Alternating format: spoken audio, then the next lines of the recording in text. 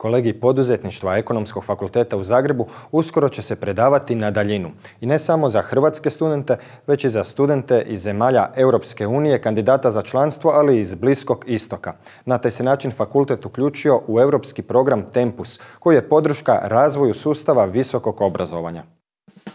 Ekonomski fakultet u Zagrebu postao je nositelj projekta Fosente koji je nastao s ciljem poticanja studentske poduzetničke aktivnosti. Unutar projekta kreiran je kolegi koji u sklopu svog redovitog studija mogu upisati svi hrvatski studenti. Kolegi je otvoren svima, studentima ekonomije, ali i onima koji pohađaju neki drugi fakultet.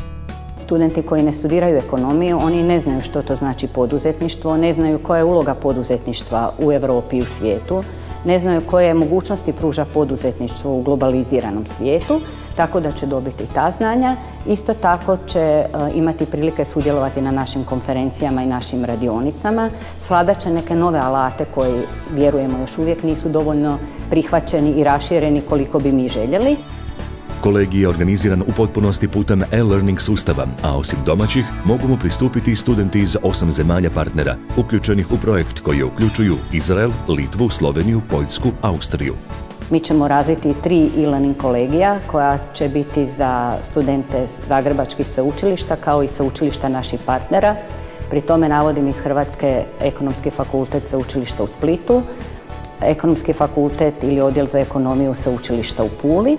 Fosente okuplja 20 profesora iz zemalja partnera, tako da se osim na hrvatskom, predavanja mogu slušati i na ostalim jezicima zemalja uključenih u projekt. Imat ćemo chat grupe, imat ćemo e, forume, imat ćemo video linkove. Mi koristimo Google Doc i za naše web stranice koje smo već razvili. Naravno imat ćemo i svoje mailove i imat ćemo period kada ćemo biti dostupni svaki e, tjedan po dva do tri sata studentima za bilo kakve probleme.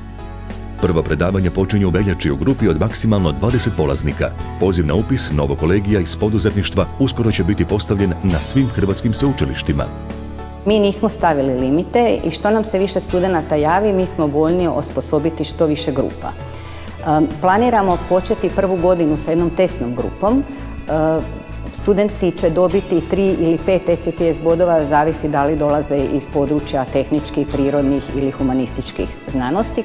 Komunikacija će teći kroz e-learning sustav Moodle, u kojem sadržaj upravo dobiva svoju konačnu sliku.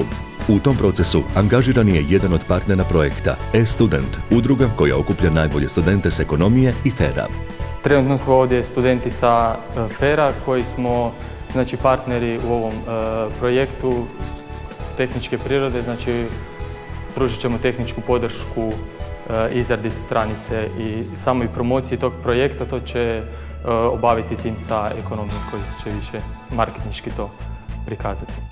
Zagrebački ekonomski fakultet prvo je Hrvatsko sveučilište postalo nositelj jednog Tempus projekta, za čiju je realizaciju Europska unija odvojila milijun i 200 tisuća eura.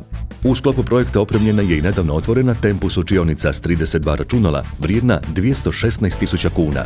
Kolegi iz poduzetništva organizirat će se u tri razine. Posljednja, namijenjena postdiplomantima, omogućuje predstavljanje poduzetničkih ideja koje mogu zaživjeti u praksi i pokretanje pravih tvrtki. Grupe će biti interaktivne i interkulturalne. Znači, u jednoj grupi se mora naći po nekoliko studenata iz svake od tih zemalja, tako da ćemo ih staviti u okruženje u kojem će oni morati međusobno surađivati upravo ono što nam e-learning omogućava, to je da nemate barijere, nemate granica. Pridružite nam se na Facebooku, postanite fan i pogledajte kako teku pripreme za emisiju, koje smo priče pripremili, te priloge iz prošlih emisija. Dovoljno je u tražilicu upisati e-Hrvatska i pronaći stranicu posvećenu emisiji e-Hrvatska. Predlažite nam teme koje vas zanimaju, postanite dio naše emisije i sudjelujte u kreiranju sadržaja.